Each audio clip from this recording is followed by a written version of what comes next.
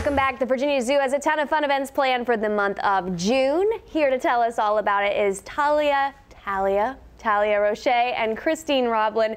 Who did you bring with you today is the first question I have because there is someone in yes, this bucket. Yes, definitely. I think she's kind of exploring right now. So we brought Easel, the three-banded armadillo today.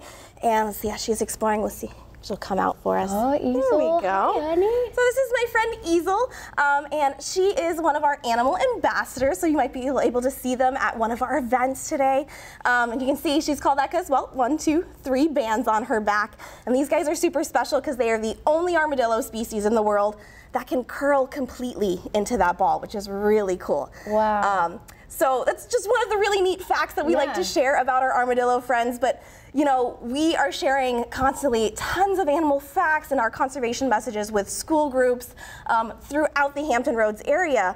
And if uh, you think she's really cool, if you want to join us for some of those education chats, um, we actually have a homeschool day coming up very soon uh, on May 31st at cool. the Virginia Zoo. Um, so from 10 a.m. to 2 p.m., we'll be out there with friends like Easel, um, sharing her, uh, her facts, what's happening in her habitat, how you can help, and um, some educator chats at our different exhibits as well.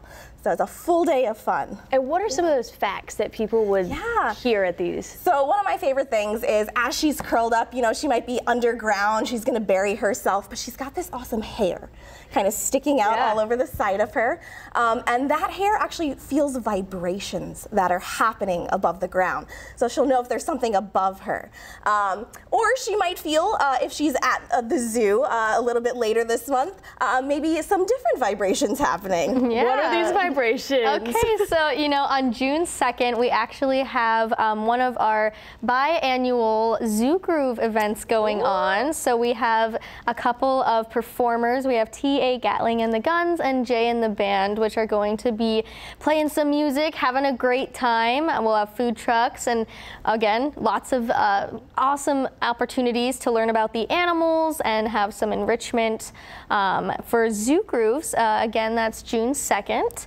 And uh, we also have plenty of animals um, at our other events in June, which would be Pride Night on June 10th. Okay. Um, so that again, just it's Pride Month in June, yeah. so we're we're here to celebrate, um, and we'll have all sorts of again fun enrichment, food trucks, field games, just a total night of fun and of course the animals. Absolutely. And for people that maybe don't come out that often or aren't sure, are there any special promotions we're running for those June events? Yeah, so actually Advanced tickets are going to be entered into a raffle where you could win um, free zoo swag or even um, we're giving away a membership. Nice. So there is a lot of really fun opportunity to get involved with advanced tickets. Uh, all the information is going to be on the website or our Facebook events page.